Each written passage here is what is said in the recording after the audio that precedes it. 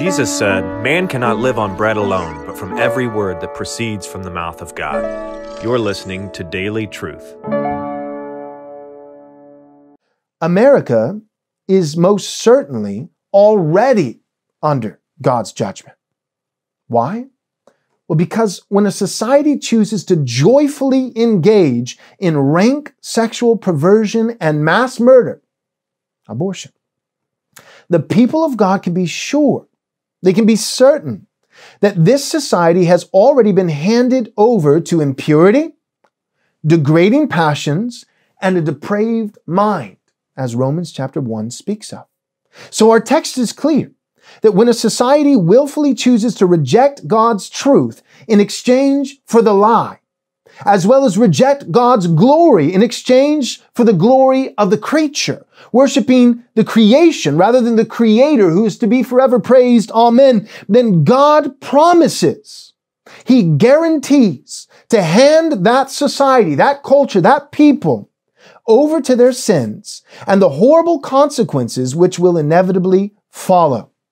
As we saw last week in Romans chapter 1 verse 18, God has clearly revealed himself to all people in his common grace, in general revelation, natural revelation.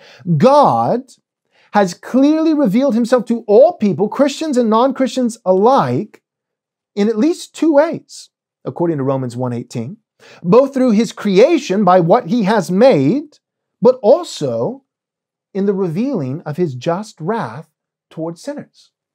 That's what Romans chapter 1 verse 18. It says that God has revealed, right? That, that the wrath of God is being revealed to those who suppress the truth in unrighteousness, meaning God is revealing his own nature. Now, now, not everything. We, we have to have, we have to receive special revelation to know um, a great deal more about God, to know the gospel, to know that God is saving sinners through the, the finished work and the person of his son, Jesus Christ. We need special revelation. We need the scripture. We need the prophets and the apostles, which is the scripture. And we need contained in the scripture, the chief central message of the scripture. We need the gospel. So we need special revelation, aka uh, God's divine revelation of the apostles and prophets, namely the scripture and the central message of the scripture, which is the gospel in order to know about the mercy of God, in order to know the way of salvation, um, in order to understand uh, more clearly who God is, what God has done, and what it is that God requires of man. We need special revelation, the scripture and the gospel contained within it. But in general revelation, not special revelation, but general revelation or natural revelation, we still get a picture of God. Not the full picture, but we still see his divine nature. We know that there is a God. We know that God exists. We know he's divine. Uh, and, and we see a picture of his power, his omniscience, and his omnipotence. We, we see his divine nature. We see his glory, that he is the all powerful creator God. Now we see this in general revelation which is by what God has made.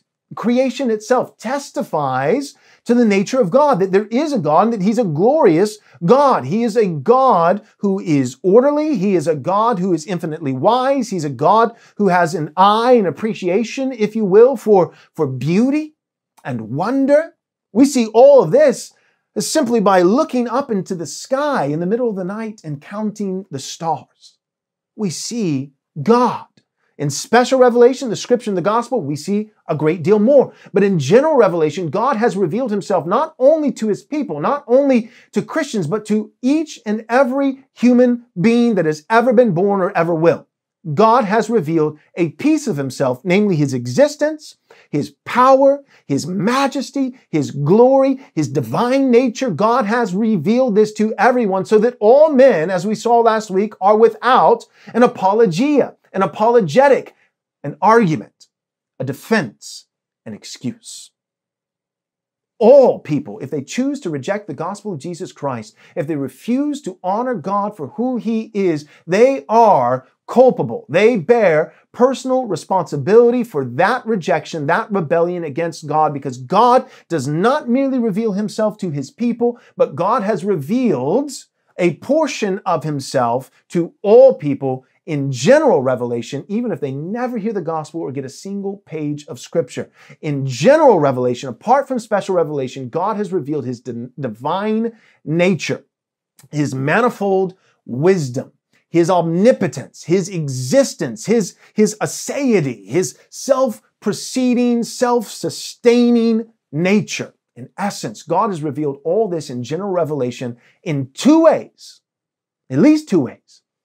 By creation itself testifying to the glory of God, by what he has made, but also, according to Romans chapter 1, namely verse 18, God has revealed himself in general revelation to all people by creation and by his wrath. By pouring out his wrath on the disobedient, on the rebel, on the reprobate. Thanks for watching this video. We hope you enjoyed it. If you did enjoy it, uh, we hope that you'll take a moment and subscribe to our YouTube channel so that you can watch more content like this.